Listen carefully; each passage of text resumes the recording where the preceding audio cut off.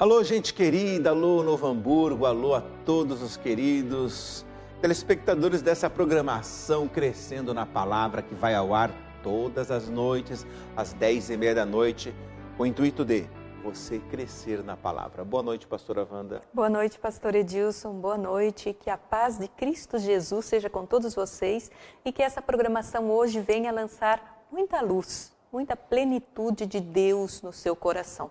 Você vai ouvir agora um clipe, você vai assistir maravilhoso com Lázaro. Deus vai fazer. Assista aí. Em seguida a gente volta trazendo, crescendo na palavra para você.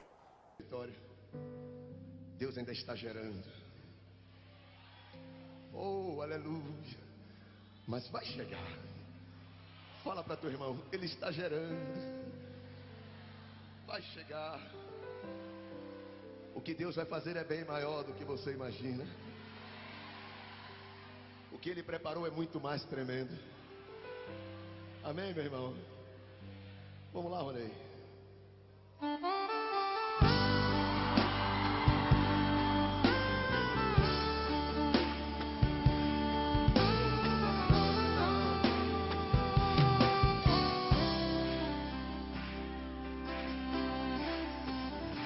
Já faz um tempo que você clamou, por muitas vezes sim você chorou, mas a vitória nunca, nunca vem. Não, não, não, não, não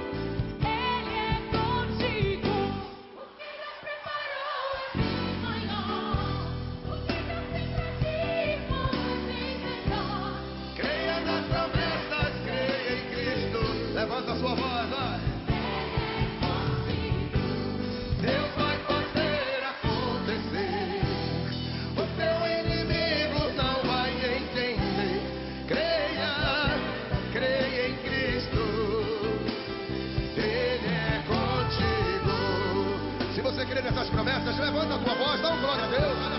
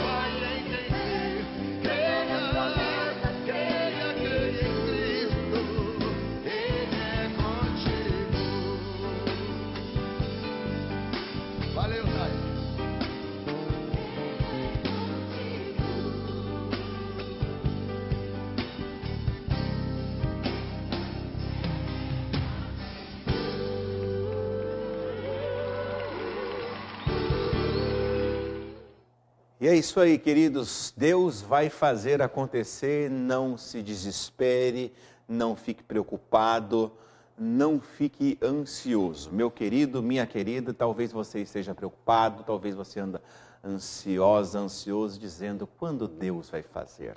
Ele prometeu, ele vai cumprir. Basta você, ó, lançar a sua fé nele. Quando você coloca a sua fé nele, é só receber, porque vai se cumprir, tá bom?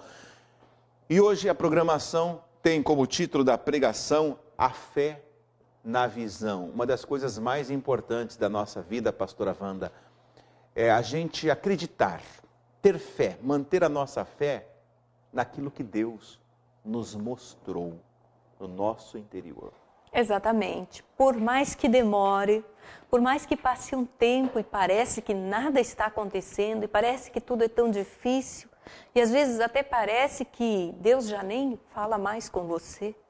Mas lembre-se, uma, uma vez Deus falou, já está feito. Se Ele te deu uma visão, se Ele te deu uma ideia, se Ele despertou um sonho no teu coração, um propósito, então Ele já fez. No espiritual já está feito.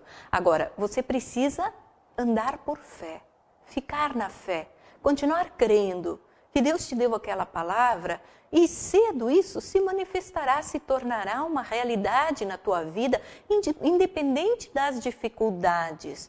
Pastor, a nossa fé é esse canal, essa ponte que vai trazer o poder de Deus na nossa vida e nos ajudar a cumprir a visão que determinamos.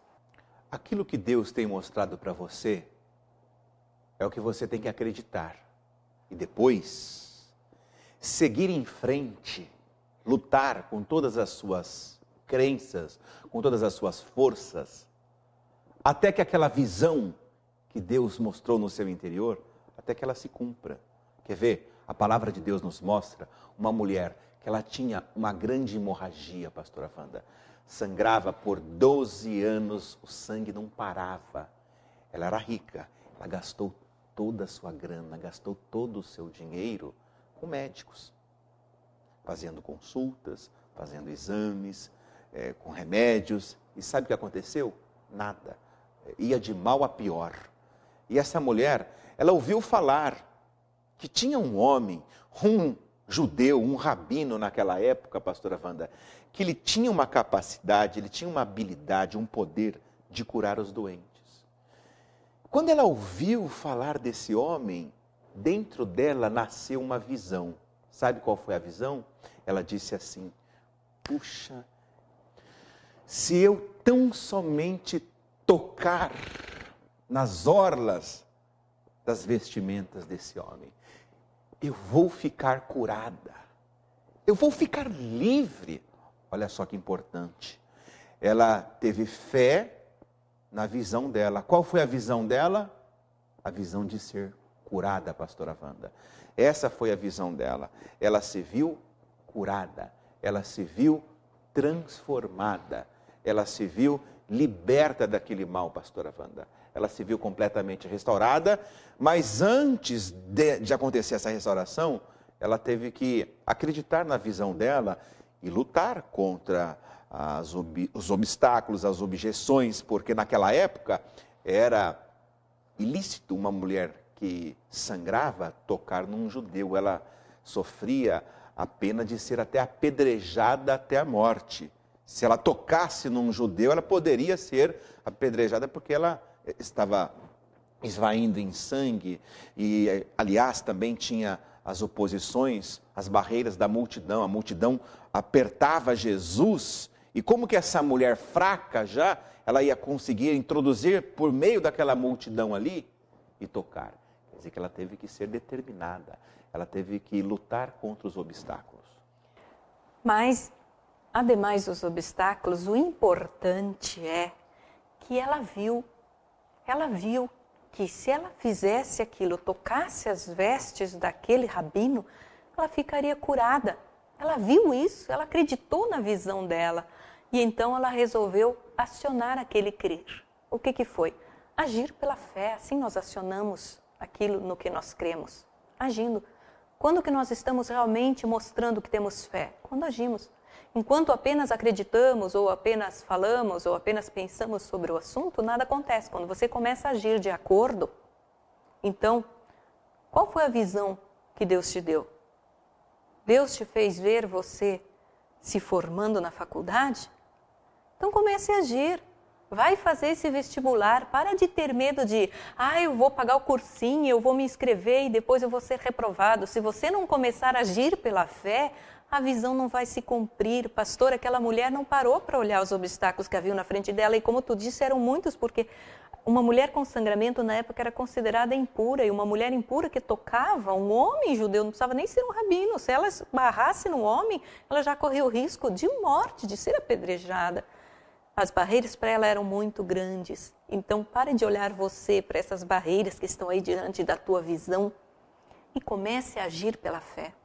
Porque se você não lutar, olha para mim, por favor. Se você não lutar pela visão que Deus te dá, quem é que vai lutar? Hã? Você vai ficar esperando os outros lutarem por você? É você que tem que lutar por aquilo que Deus tem colocado dentro no seu coração. Você tem sonho em ser um músico? Então você tem que pegar o violão e começar a treinar o teclado, a bateria ou a voz. Não é só ter sonho. A pessoa, pastora Wanda, antes dela concretizar aquele sonho, aquela visão, tem o processo da implementação, que é o momento do sacrifício, é o momento do esforço. Porque quem tem fé na sua visão, ele está disposto a sacrificar. A senhora lembra de uma declaração de Silvio Santos. Perguntaram para o Silvio Santos certa vez: Qual é o seu segredo, Silvio Santos? O Silvio Santos disse assim: são dois. Primeiro, inspiração. Ele disse que ele era inspirado, isto é, ele visualizava o sonho dele dentro dele, quando ele era pobre ainda. Ele falou o segundo: transpiração. Primeiro você tem que ter aquela visão dentro de você, quem você nasceu para ser. Só isso não adianta, porque tem gente, pastora Wanda, que vive sonhando bastante. Essa é a realidade. A pessoa tem que sonhar de noite, mas trabalhar de dia. Exatamente, trabalhar em prol de realizar esse sonho. Trabalhar em busca de ver concretizada a tua visão. Outro exemplo que nós temos dentro da palavra é o José. O José teve sonhos enquanto dormia. Deus deu sonho para ele enquanto ele dormia. E ele contou para os irmãos dele o sonho. E os irmãos deram um jeitinho de atrapalhar tudo. Impedimentos sempre acontecem. Mas José nunca desistiu da visão dele. E sempre andou pela fé. José sempre andou pela fé, mesmo quando ele estava na cova, na prisão, lá no Egito, na casa de Potifar, foi lançado na prisão. Mesmo lá embaixo, naquela prisão subterrânea, onde nem o sol ele via, dentro dele ele via a realização da visão que Deus tinha dado. E ele andava nessa fé. Ele procurava as oportunidades para agir de acordo com aquilo que Deus tinha dito para ele que ele era. Quem Deus disse que você é? E você está simplesmente fazendo de conta que de repente não era para você, ou é difícil demais, ou quem sabe nem vai acontecer. Não. Quem recebe visão, quem tem visão, quem tem sonhos, precisa, pastor, agir com fé.